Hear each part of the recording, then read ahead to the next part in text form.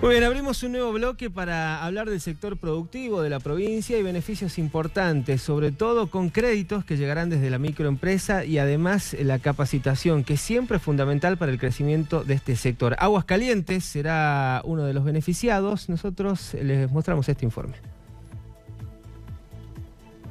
Tratar de implementar el programa para el desarrollo del sector eh, hortícola, que nosotros creemos que está muy disperso y que necesita del apoyo.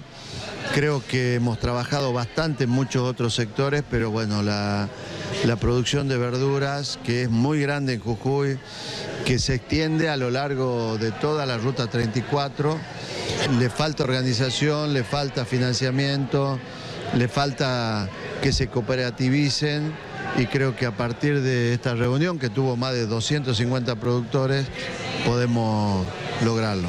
La idea es que por lo menos eh, comiencen a unirse entre ellos. Creo que si logramos que se vayan agrupando de 4, de a 5, de a 10, van a poder obtener financiamiento, van a poder bajar los costos. Queremos ayudarlo en que mejoren la calidad, para que puedan obtener un mejor precio y creo que ahí de a poco va a ir mejorando el sector. Vamos a agilizar los créditos del Consejo de la Microempresa.